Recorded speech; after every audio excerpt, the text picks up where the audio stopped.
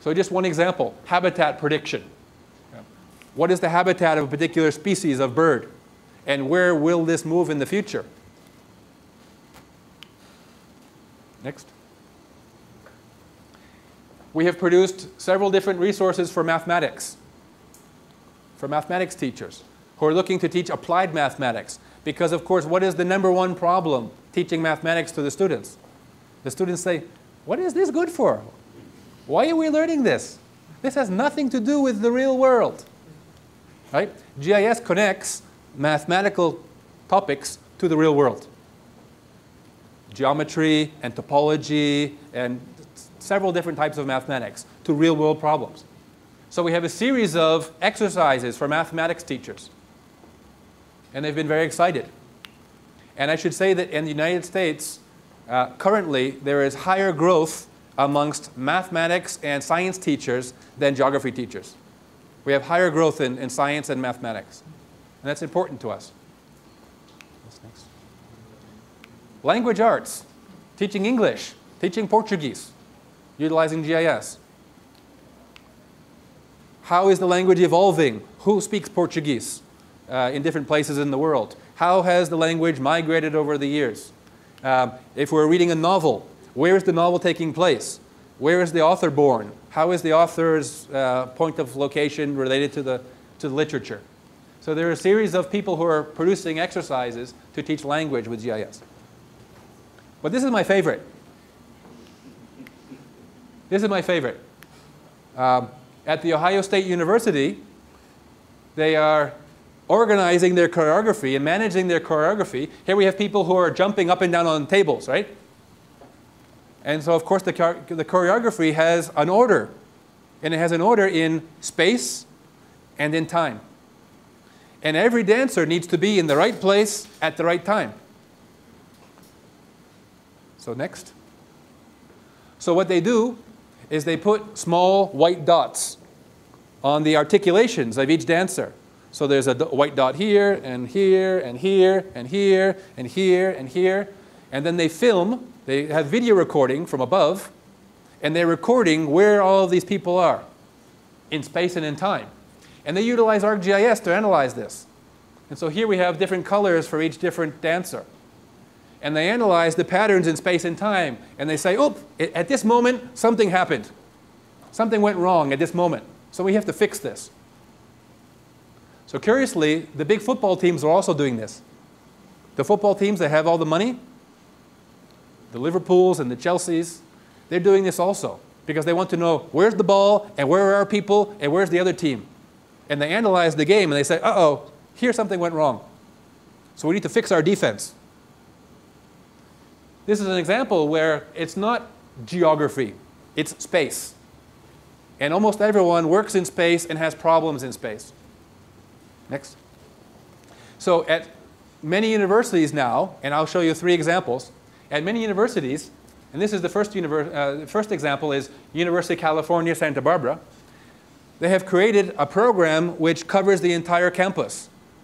And they have said, we're going to talk about space. Not about geography, about space.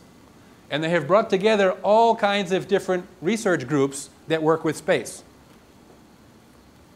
Social science, satellite imagery, a digital library, some kind of uh, um, interaction laboratory in computer science, nanotechnology, spatial thinking lab, cognitive psychologists. And these people talk about space together, and they have meetings, and they have conferences. And they utilize GIS in many different ways. Next. Stanford University, I think you're familiar with. Stanford University is a, a, one of the best, one of the um, most excellent universities, private university in California. At Stanford University, there is not one department that has GIS per se. So there's not one big, strong department that has lots of GIS. At Stanford, it is being controlled by the libraries and information resources. So Stanford has in their library lots of GIS for everybody. And so any professor can say, I want a little bit of GIS, please. I want to, I want to make one map, or I want to do one analysis. And so the library and these people help them to work. Next. The same is the case for Harvard University. Harvard has a Center for Geographic Analysis. the Center for Geographic Analysis at Harvard University is also not in any one particular department. It is a horizontal center which provides, using the site license, provides software to everyone who wants to use GIS on the Harvard campus. Now, the director of the center is an expert in Asian languages. Not a GIS person, per se, not an IT person. This is someone who decided that this was interesting for his research in Asian languages, studying China. And so he created this laboratory, and we support this laboratory, and they're doing interesting things across the entire campus. Next. So I think that's another of, of the main messages. This is the future of GIS, is that it's spreading across society and across the campus. And one of the ways that you can utilize our software, the ArcGIS software, to make this happen is utilizing ArcGIS Online. And you'll see a demonstration in a few minutes. ArcGIS Online is the ability for any GIS users on campus to create a group on the web for free and to start publishing their data. We have a nice map of Sao Paulo. We have a nice map of the soils. We have a nice map of transportation. We have a nice map of students in the field who are collecting points. And you can start publishing this data, free online storage, and then other users can search. Hmm, does anyone have soils data for Sao Paulo? They can search these groups and they can find, ah, yes, another department in my university has already done this work. So we can utilize their data. And then we can create new data and we can share data to the other departments. Thanks. So ArcGIS is growing, as I said. There are free applications such as ArcGIS Explorer, which allows anyone in their home or at the university to access the data for free.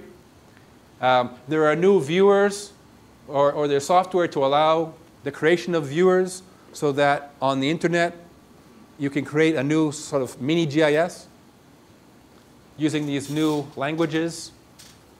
And much of this is freely available for people to utilize and to create programs. So this is important. These are not extras that cost money. These are extras which have been facilitated to the wide community so that GIS can spread more. And this is one example of many. This is the National Geographic, you know National Geographic, the magazine? National Geographic Society has a series of small GISs on the web called FieldScope. And so they have taken our Flex programming environment and they have created small focused GISs.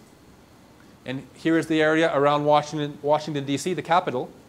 And there are a few different layers that can be visualized, but more importantly, there are some functions here, some analysis, so you can ask some serious questions.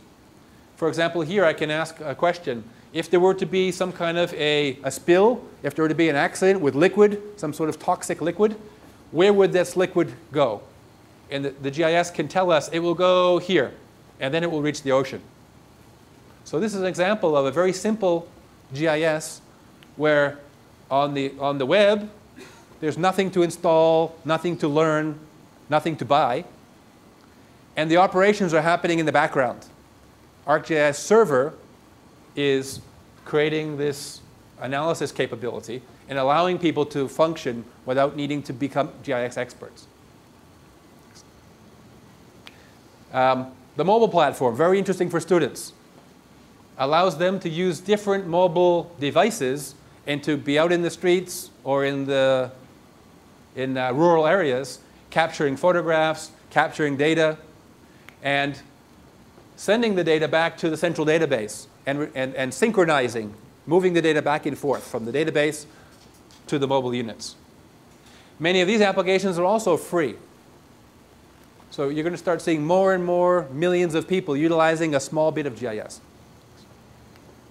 So as I said, we're continuing this loop and we're starting to make more decisions and making small actions and contributing more data to be contributed. And so more and more and more our database of what we know about the world is growing and growing and growing because we have more millions of people who are able to do this.